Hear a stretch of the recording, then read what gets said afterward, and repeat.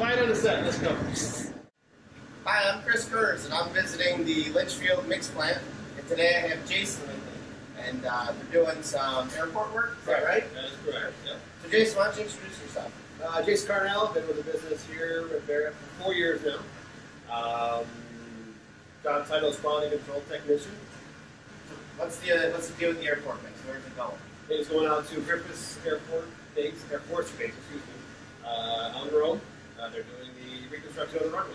Nice, nice. So, what do you enjoy most about working at Barrett? It's a nice family atmosphere, you know. We try to uh, everyone's looks out for each other.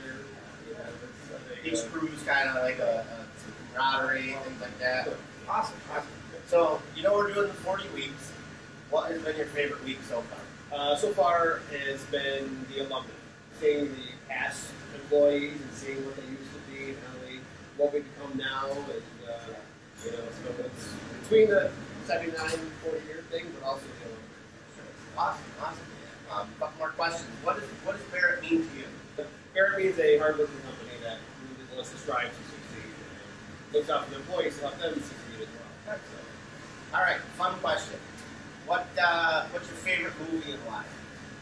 favorite movie would be it's an old school 1985 movie uh, called Spies Like Us.